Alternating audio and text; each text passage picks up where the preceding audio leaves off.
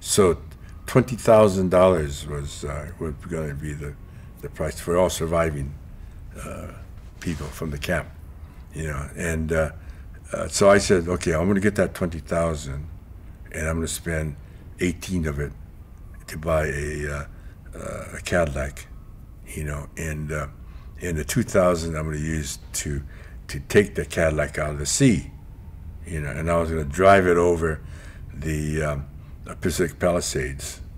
No, out, not not you know out uh, whatever I used to do skin diving out by uh, Palos Verdes, you know, and uh, and but before I do that, I'm going to paint Griff on a on a door. So this is what four years that I got paid for four years in cap, and then I had a lot, I have a lot of friends even to this day in in in the, in the um, critics uh, press people. You know, I would call them and says, "I'm going to push. I'm gonna I'm gonna drive a Cadillac into the sea over the cliff, a brand in a brand new one. Okay, would you guys want to see this?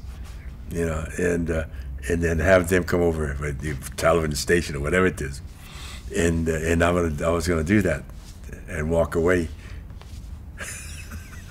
and I told I just told this to my wife, and we didn't have much money. Then she said, "God no, don't do that, please. We need the money."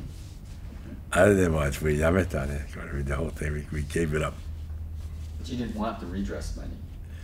No, I, I mean I wanted it, but I didn't. I I I, I didn't like what it stood for, and even to this day, when the money came, twenty thousand is not much because it just we, we had to pay off some people we owe. We never saw that money, so in some ways, I didn't see it.